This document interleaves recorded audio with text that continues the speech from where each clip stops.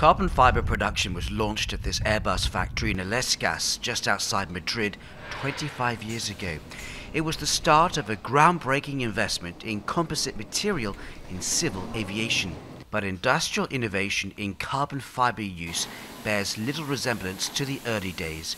Airbus has made a multi-million dollar investment in new technology, turning this facility into a world leader in composite industrial manufacturing.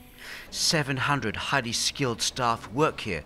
Teresa Busto is the plant director. In my opinion, this is uh, one of the world more important center of excellence in composite that we have. We have the best experts in the world. We have more or less uh, 30 patents produced just in the 350 program, uh, Airbus patents, and uh, we consider that we are at the top level of the composite manufacturing.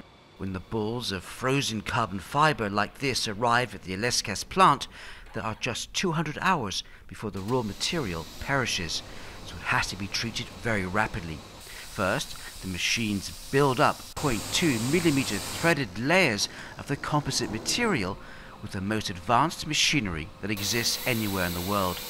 They take the exact shape of the aircraft structure. In this case, the carbon fibre will be used to make the rear fuselage section of the A380. After that, it's heated or cured with a resin mix in massive pressurized ovens known as autoclaves. When they emerge, the large sections are turned into light but strong composite parts. In the beginning, on the A320 program, under 10% of all the aircraft structure was made from carbon fiber. It rose to 25% on the A380, and it's now around 53% on the A350 XWB. Uh, 25 years ago, we produced uh, parts by hand. But by hand, usually the, the person is able to lay up three kilos per hour, more or less. So the restriction for that was uh, unbelievable. We were not able to produce part more than 25 kilos or 5 meters or five, 6 meters long. Today, we are some means that are able to lay 30, 33 or 34 kilos per hour. So you can imagine the size of the parts are biggest and we can produce more complex parts. Carbon fiber weighs significantly less than aluminium, which of course means the aircraft can carry more passengers without adding to the weight. On top of that, the maintenance costs come down too. Basically, the main advantage is the weight, the weight saving. Making parts with uh, carbon fiber, we can save, compared with aluminum, up to around 20% of weight. It is also another advantage that uh, there is no corrosion and there is no fatigue.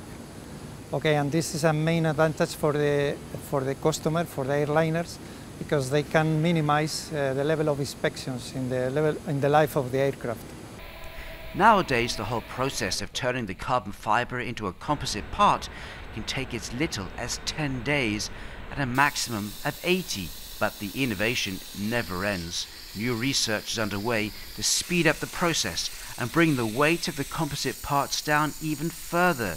These water jets, for example, can cut up parts without the wear and tear risks from traditional machinery. We consider Airbus is the world leader for different things. First, material development. Second, tooling innovation in composite parts, process innovation and automation. When the wing parts head out of this plant, they make their way by Beluga to the Airbus wing specialists in North Wales. Airbus has set an ambitious target to produce 10 A350 XWBs a month by 2018. In Spain, the team are doing their part to make sure that goal is met on time.